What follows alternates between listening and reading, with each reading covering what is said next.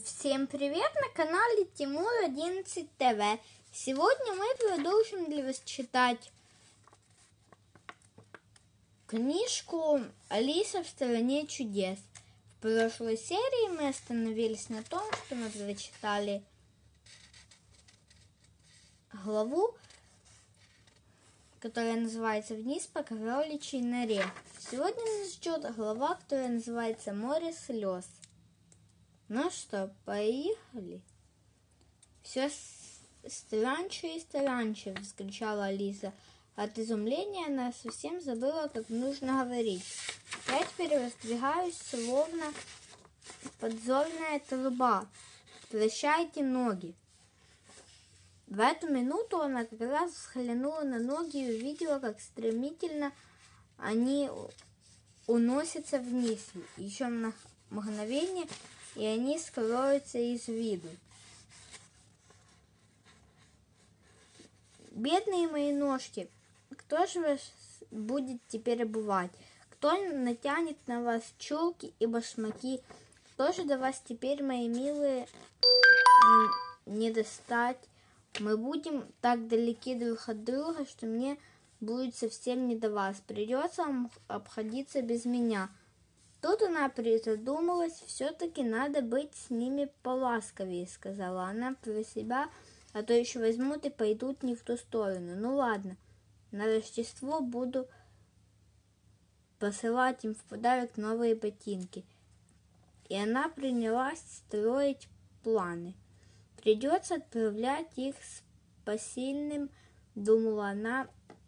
Вот будет смешно, подарки собственным ногам, ну что за вздор я несу? В эту минуту она ударилась головой о потолок, ведь она вытянулась фунтов до девяти, не меньше. Тогда она схватила со стола золотой ключик и побежала к двери в сад.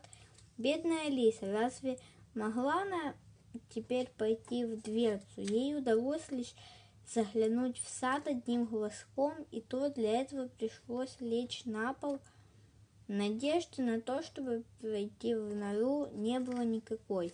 Она уселась на пол и снова расплакалась. «Стыдись», — сказала себе Алиса немного спустя. «Какая большая девочка!» Тут она, конечно, была права. «И плачешь?» «Сейчас же перестань, слышь!» Но слезы лились ручьями, и вскоре вокруг нее образовалась большая лужа, дюймов 4 глубиной. Она разлилась по полу и уже дошла до середины зала. Немного спустя вдалеке послышался топот маленьких ног. Алиса торопливо вытерла глаза и стала ждать. Это возвращался белый кролик. Он идет. Одет он был парадно, в одной руке держал пару лайковых перчаток, а другой большой веер. На бегу он тихо бормотал. Ах, боже мой, что скажет герцогиня? Она будет в ярости, если я опоздаю, просто в ярости. Алиса была в таком отчаянии, что готова была обратиться за помощью к кому угодно. Когда кролик поравнялся с нею, она робко прошептала «Простите, сэр». Кролик подпрыгнул, ронил перчатки и веер, метнулся прочь и тут же исчез в темноте. Алиса подняла веер и перчатки. В зале было жарко, и она стала обмахиваться веером. «Нет, вы только подумайте», — говорила она, — «какой сегодня день странный. А вчера все шло как обычно. Может, это я изменилась за ночь? Дай-ка вспомнить. Сегодня утром, когда я встала, я была я это была или не я? Кажется, уже не совсем я.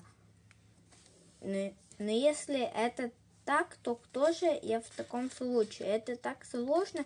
И она принялась перебирать в уме подружек, которые были с ней одного возраста. Может, она превратилась в одну из них? Во всяком случае, я не Ада, сказала она решительно. У нее волосы вьются, а у меня нет. И уж, конечно, я не Мейбл. Я стильно его знаю, а она совсем ничего. И вообще, Она это она, а я это я. Как все непонятно.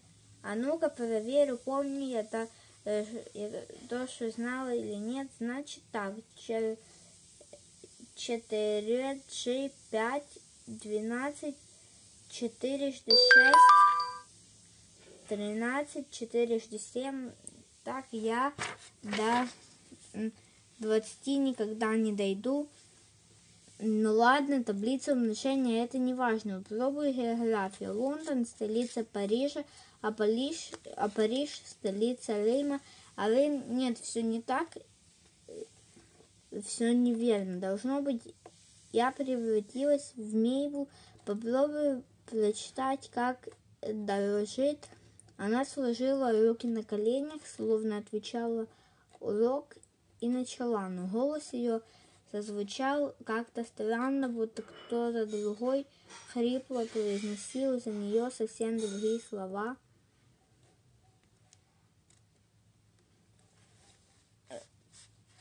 Ну вот и все, мы прочитали первую часть главы, которая называется «Море слез». Следующей серии нас ждет вторая часть этой главы. Но это мы уже будем для вас читать в следующей серии. А сейчас ставь лайк и подписывайся на канал Тимур 11 ТВ. Пока-пока.